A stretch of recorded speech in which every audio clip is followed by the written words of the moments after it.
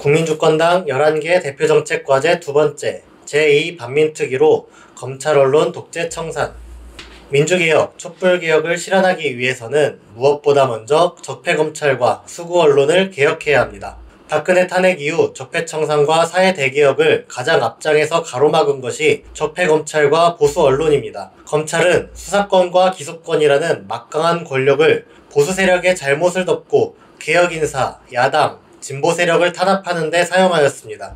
보수 언론은 허위, 과장, 왜곡 보도로 여론을 현혹하였습니다. 적폐 검찰과 보수 언론은 범죄 행위도 서슴지 않았습니다.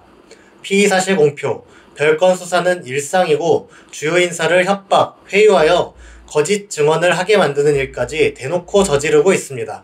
2020년 폭로된 한동훈 현 국힘당 비대위원장과 당시 채널A 이동재 기자의 협박 사건, 이화영 전 경기도 평화부지사 회유 사건 등이 있었습니다. 이는 중대한 범죄 행위로 처벌해야 마땅하나 기소권을 가진 것이 검찰이기 때문에 그대로 묻히고 있습니다. 보수 언론들은 가짜뉴스를 보도해도 아무런 제재도 받지 않습니다. 종편TV는 방통위 심사에서 반복적으로 공정성 기준에 미달하면서도 재승인을 받고 있습니다. 구소 조작 같은 범법 행위도 자행하고 있습니다.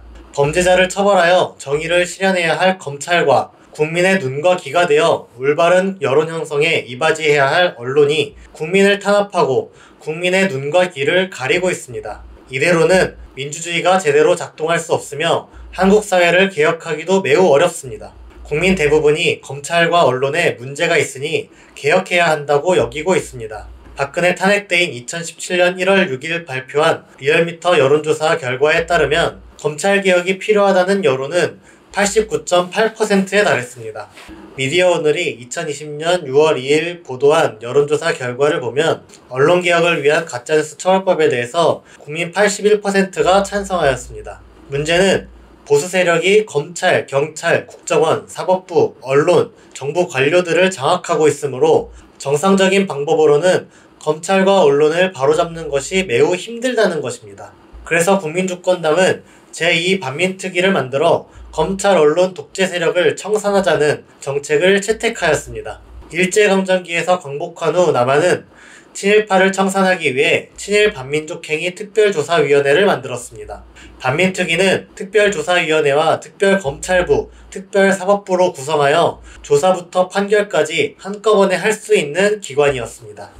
이 반민특위가 촛불개혁을 실현할 강력한 무기가 될 수 있습니다. 국회가 나서서 특별법을 만들어 검찰 언론 독재 청산을 위한 반민주행위 특별조사위원회를 만듭시다. 반민특위와 마찬가지로 특별조사위원회, 특별검찰부, 특별사법부로 구성하여 조사부터 판결까지 일사천리로 진행할 수 있는 힘있는 기구를 만들어 검찰과 언론을 개혁합시다. 수구 세력은 1945년부터 지금까지 장장 79년 동안에 걸쳐 권력을 장악하고 사회 곳곳에 기득권을 뿌리내려 왔습니다. 촛불개혁을 실현하려면 제2의 건국을 한다는 자세로 비상하게 나서야 합니다.